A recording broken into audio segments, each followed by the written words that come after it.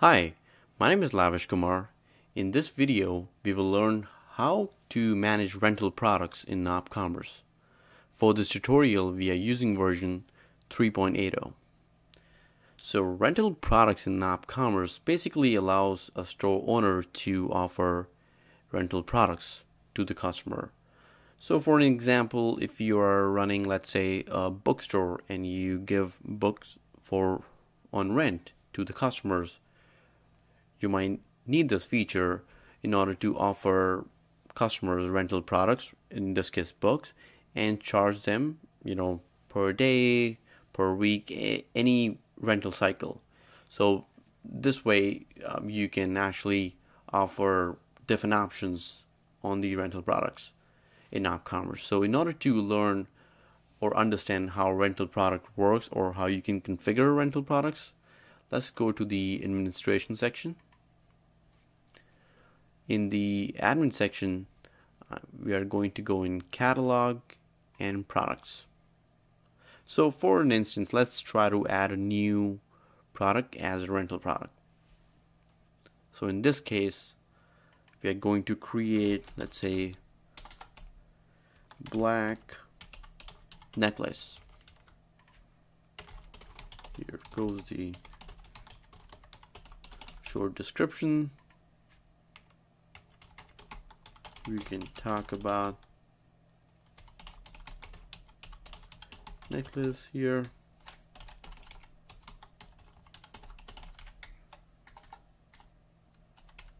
So in this example basically let's say you know you can think of um, e-commerce store that offers jewelry and you know you might want to offer a product that you give on rent to the customers so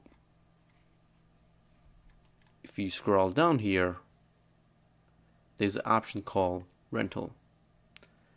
We are just going to check this option and here you can see different options for the rental. For an instance, rental period length. So rental period you can select based on days. You might want to charge based on weeks, months, years, so in this example, I'm just going to keep it as days. Save and continue.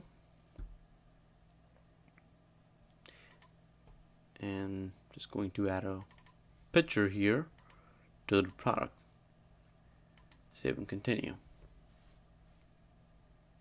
Okay, so now we have seen how we can add a rental product. It's pretty much simple and very straightforward in nopCommerce. So if you go in the public store,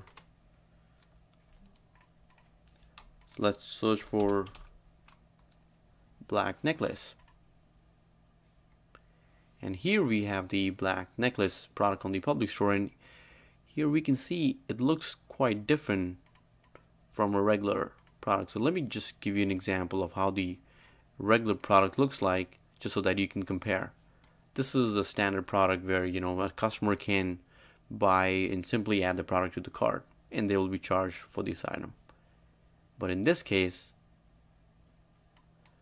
we have start and date as you can see I have not added the price. I'm just going to go in the product info and put a price here. Let's say I would like to charge $25 it'll be per day base because I have selected rental period as days. Save and continue. And now if I refresh it, it will update the price. So now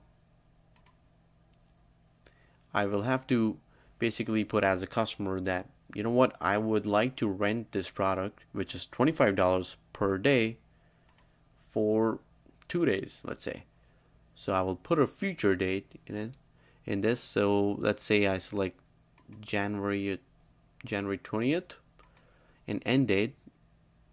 So if I select 22nd these are two days.